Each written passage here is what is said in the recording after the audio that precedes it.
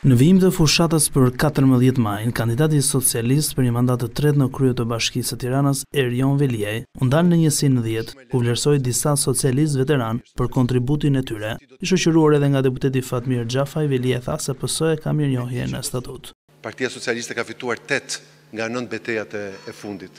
Tetë nga nëntë betejat, është një rekord që nuk e ka asnjë parti tjetër në rajonin tonë edhe në Europë. Jemi e vetmja parti që institucionin e mirënjohjes e kemi në statutin e partisë, ku mirënjohja, respekti, vlerësimi publik, se në privat ne i themi gjithë njëri-tjetrit rrofsh dhe të paça, po vlerësim publik për gjithë ata njerëz që kanë dhënë një kontribut në këto fitore, sot materializohet dhe sot fillojmë një traditë që dua ta vazhdoj në të gjitha njësitë.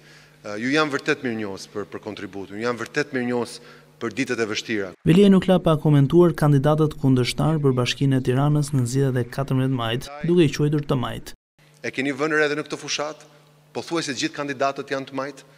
Kemi kandidatë nga Partia Socialiste, kemi një nga Partia Komuniste, kemi një nga një lëvizje marksiste, kemi një që Hiqet sikur është me Saliun, po është regjistruar me Lëvizjen Socialiste për Integrim.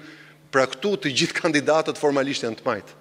Dhe kjo është një ditë e mirë për të majtën, kur dhe kundërshtarët tanë më të paepur regjistrohen si të majtë. E kishit menduar që do ishit gjallë një ditë ku Flamur Noka regjistrohet si anëtar i Partisë Komuniste për të futur një kandidat në Tiranë?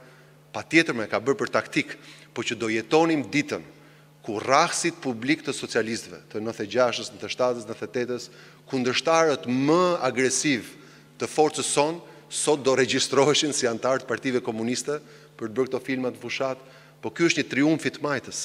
Jo vetëm në numrat e njerëzve që identifikohen si të majtë për të kapur ca vota, por dhe për faktin që pothuajse gjithë diskutimet janë të majta.